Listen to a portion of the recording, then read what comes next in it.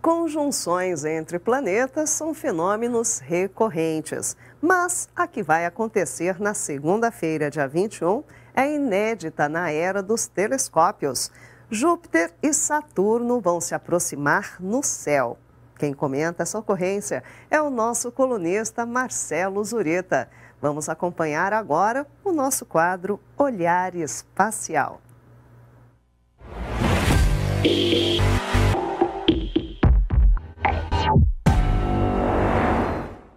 Se você acompanha as notícias astronômicas, já sabe que na próxima segunda, dia 21, ocorre a maior conjunção entre Júpiter e Saturno dos últimos séculos. Júpiter, o maior planeta em órbita do Sol, apresenta uma atmosfera superior com faixas de diferentes cores e grandes tempestades entre elas. Uma delas, chamada de Grande Mancha Vermelha, é um gigantesco vórtice ativo desde as primeiras observações de Júpiter através de telescópios feitas há mais de 400 anos por Galileu Galilei. Também foi Galileu quem primeiro observou as quatro maiores luas de Júpiter, Io, Europa, Calisto e Ganímedes, merecidamente chamadas de luas de Galileu.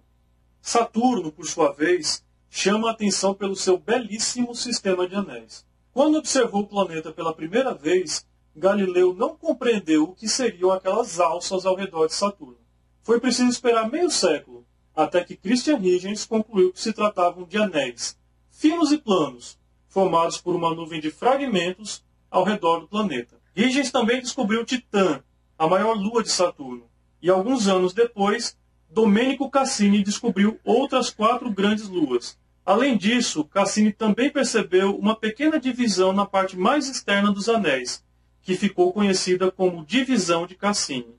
E toda a beleza e complexidade desses dois mundos que encantam os astrônomos há mais de 400 anos poderá ser contemplada de forma inédita na próxima segunda, 21 de dezembro.